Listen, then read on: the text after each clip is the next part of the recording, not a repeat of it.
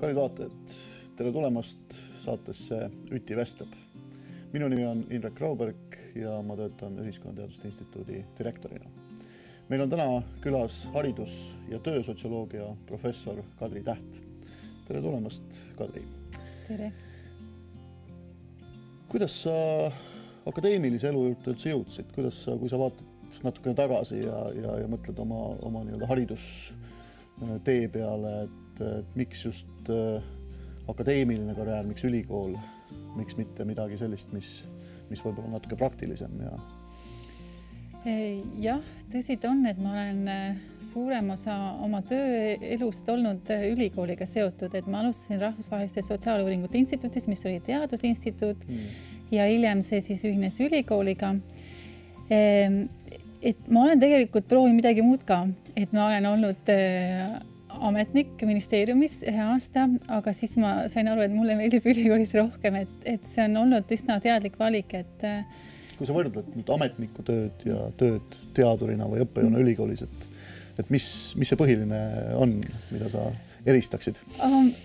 ma ei teagi, see oli noh, päris kaua aega tagasi juba, kui ma aru mm. sain, et, et ei, mulle lihtsalt ikka meeldib see, et nagu sul on mingi teema ja sa saad sinna kuidagi süveneda ja siis uurida ja ise küsida ja et, et tegelikult noh, seal ametniku tööl, see oli ka, et ma olin projektide koordinaator ja seal oli ka nagu huvitavaid mm -hmm. asju, aga see oli täitsa teine valdkond, et see oli transport ja no, kuskil okay. majandusministeeriumis, et et ma olin nagu ennem olnud äh, rassis ja siis ma vahepeal läksin olude sunnil ministeeriumisse tööle ja siis ma tulin sealt tagasi, et see, et ei, et ma ikka üritan veel, aga siis ma tegelikult läksin doktorantuuri ja mm -hmm. et selle kaudu ma tulin siis tagasi ülikooli.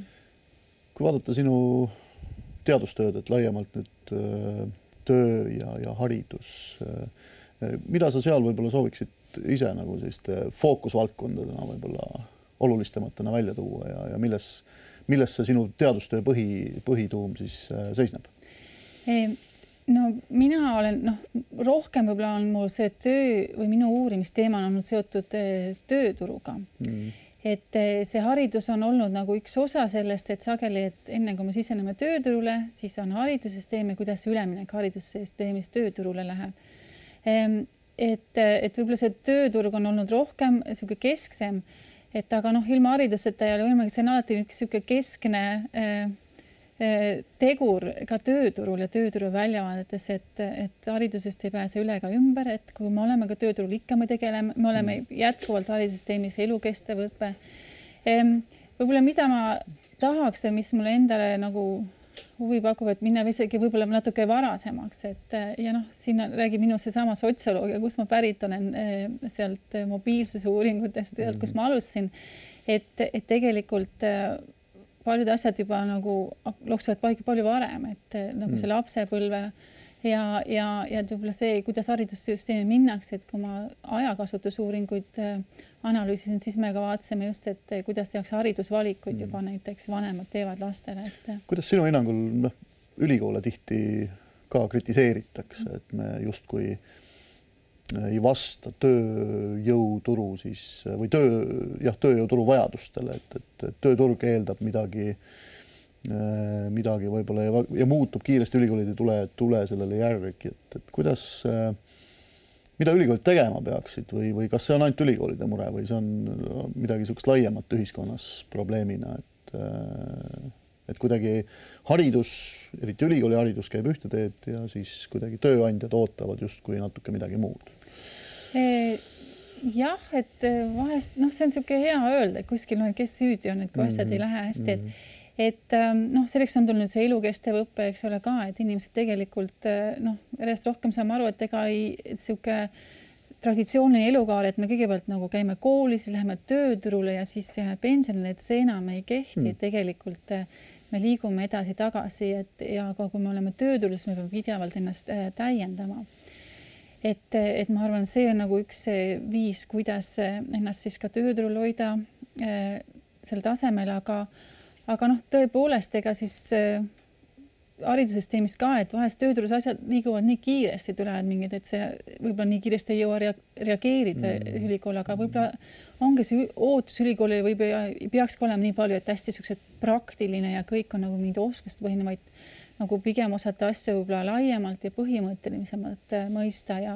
et ülikool peaks õpetama ka selliseid üldisi kompetentse. üldised kompetentsid mm -hmm. ja oskusega reageerida samamoodi ja, ja teha vahet, mis on oluline või mis on ebaoluline, et, et mille pealt on siis lihtne võib-olla uusi oskusi ka omandada või, või siis uusi valikuid teha, et ega ka see ei ole ju enam eh, nii ootamatu, et inimesed vahetavad täiesti keset oma suurt karjääri täiesti suunda ja lähevad mm. hoopis teise kohta, et või tulevad akadeemiasse või lahkuvad mm. akadeemiast ja ja ka ja tööturule minnakse täiesti teise valdkonda.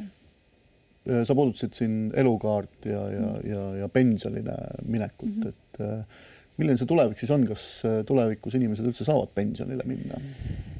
noh, see ei ole nüüd päris minu valdkond mm. -hmm et ma loodan, et ikka saavad, et aga, aga noh, nagu näha, eks et ta tasapisi nihkub ja noh, suurem paindlikkus ilmselt eh, tuleb ka, et noh, juba praegu on tegelikult ka, et inimesed võivad ju pensionile minna ja samal ajal töötada mm. -hmm. seda julgustatakse, et tegelikult eesmärk on ikkagi hoida inimesi ju tööturul.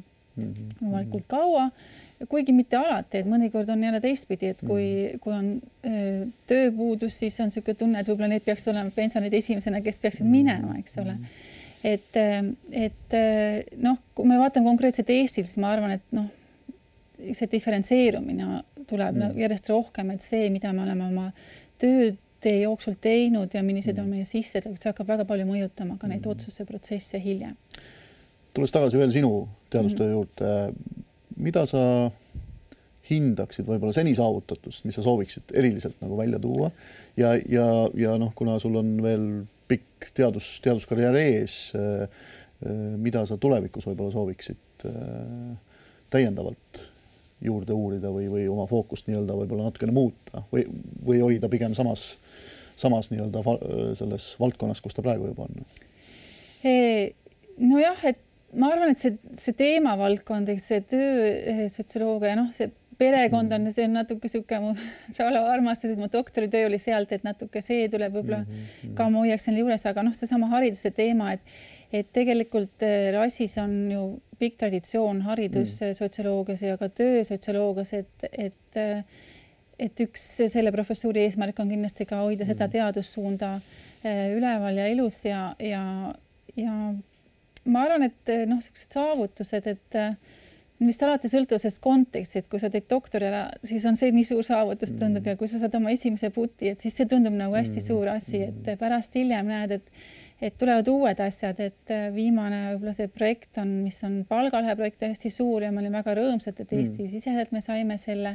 seal uuriti siis äh, palgalõhet äh, meeste ja naiste. jah, me, see projekt veel käib, me oleme seal lõpus faasis, aga mm. jah, keskne need palgalõhed, kuidas ta on kujunenud Eestis, miks ta püsib endiselt ja mis need mehhanismid võiksid mm. olla ja et kolmeaastane projekt ja päris mahukas ja, ja sellest me olime selle üle uhked, seal on väga palju tööd ja see endiselt kestab, et. Eh, ma küsin juurde, kas palgalõhe äh, osas ühiskonnas ka poliitikute poolt äh, tähelepanu pöörates on mingeid poliiti-, poliitikaid rakendatakse Eestis, et seda palgalõhet äh, noh, vist on õige küsida, ikkagi vähendatakse mm. -hmm. noh, eks ta päevakorral on, sest ta tuleb juba sealt nii-öelda Euroopa poolt, see surve on, et sellega tuleb tegeleda, aga võrreldes teiste maadega Eestis, ma arvan, nagu regulatsiooni tasandil on pigem vähe mm.. et ta on, jääb niisuguse heatahtliku soovituse tasandil rohkem, et tuleb töötajaid kohelda võrdselt ja see on nagu meie seadusandluses ja regulatsioonides kirjas, aga otseselt nii-öelda palgalõhe kohta mm. on vähe, et, et meil ei ole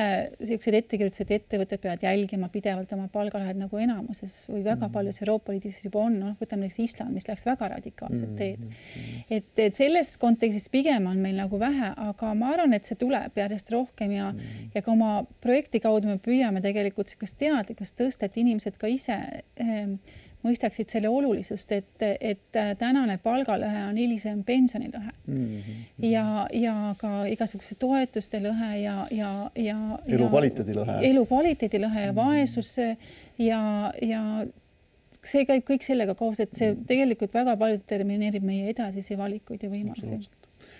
Kadri suur,, suur-suur aitäh sulle saatesse tulemast, sinuga oli väga-väga huvitav vestelda paraku meie saateaeg on, on piiratud ja, ja ma, ma loodan siiralt, et me saame neid vestlusi juba kas siis järgmistes saadetes või mõnes muus formaadis jätkata.